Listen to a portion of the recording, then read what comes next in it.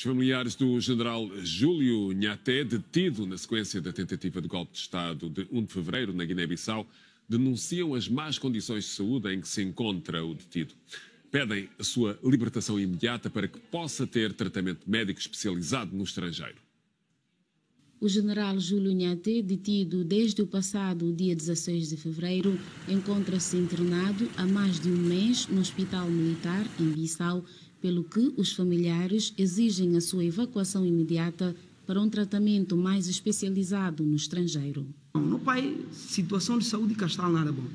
Não saber para ver que ele que tem nenhum culpa, que tem nenhum crime, está doente e preservar e trata fora. Não pai tirado de lá correr para o hospital, vomitando sangue. Que é grave.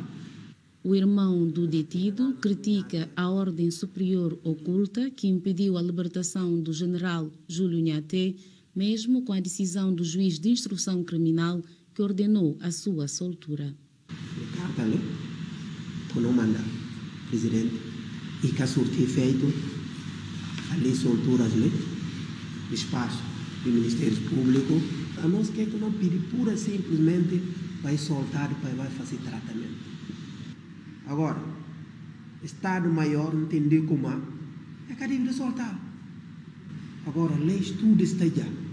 Alguém está falando ordem maior. Que não consegue. Em reação, a Liga Guineense dos Direitos Humanos denunciou as péssimas condições em que se encontram as celas da segunda esquadra em Bissau, tendo reclamado o seu encerramento não têm condições, portanto as pessoas entram lá e saem doentes. Tanto assim que neste momento a maioria das pessoas que estão lá detidas estão todos com problemas de saúde, estão a padecer de enfermidades graves. A Liga Guineense dos Direitos Humanos criticou ainda o incumprimento das decisões judiciais em relação aos detidos do caso 1 de fevereiro e acusa o Estado de sequestro. O presidente da Guiné-Bissau visitou as obras em curso na autoestrada que vai ligar Bissau à localidade de Safim.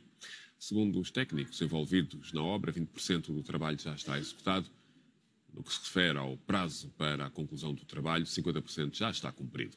A empresa de construção civil chinesa garante que, se tudo correr como previsto, até outubro do próximo ano, a obra estará concluída.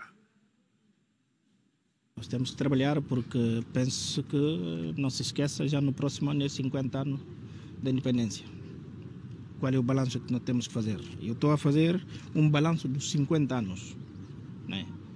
É como eu disse, que a minha geração, essa geração de concreto, não é só ficar nos gabinetes, tenho que acompanhar a execução, o que está feito, o que está para fazer. Não é?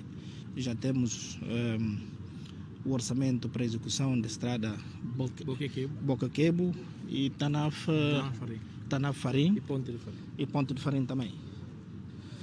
E com a Badeia estamos a ver já segunda volta, a segunda volta de Bissau não é? e a segunda saída. A segunda saída. Já com o Banco Mundial, Safim, PAC, isso também já temos em carteira. Isso mostra de facto que próximo ano, até em setembro, inauguração das obras.